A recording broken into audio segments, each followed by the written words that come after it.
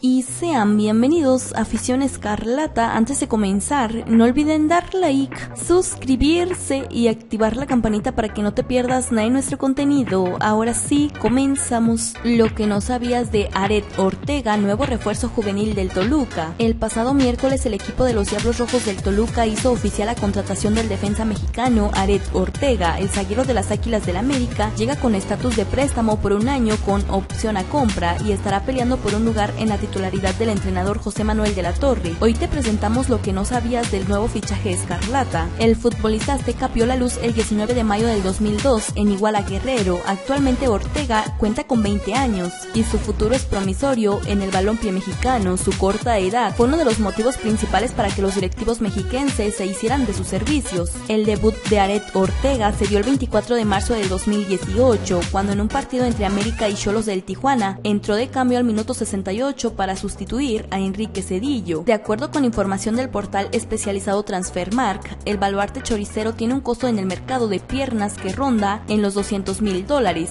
Sin embargo, en caso de que Toluca decida comprar al futbolista, se espera que los altos mandos americanistas soliciten cerca de 1.2 millones de dólares, cantidad módica y que está dentro de las posibilidades del conjunto rojo. El mexicano cuenta con el apoyo de sus padres 100%. Fue el 18 de abril de 2017 cuando el nombre de Aret Ortega apareció en la lista final del combinado nacional para participar en el Mundial de Panamá. Al igual que todos los futbolistas profesionales, Ortega también cuenta con un claro referente internacional. El exjugador Carles Puyol es máximo ídolo del balompié. Una de las leyendas del Barcelona sirve de motivación para el jovencito de 20 años de edad. Y Alfredo Talavera confirma que Toluca ha pedido su salida. Luego de la serie de rumores que han establecido sobre Alfredo Talavera emigrando a otro equipo de la Liga MX, saliendo de los Diablos Rojos del Toluca, el guardameta de 37 años salió a aclarar su panorama, indicando que los del Estado de México han pedido su salida de la institución. El portero tiene un año de contrato con los Diablos, sin embargo el guardameta obtuvo la posibilidad por parte del club para quedar libre y buscar un equipo que le ofrezca dos años de contrato, pues la intención que tiene es la de llegar a tope pensando en la Copa del Mundo de Qatar 2022.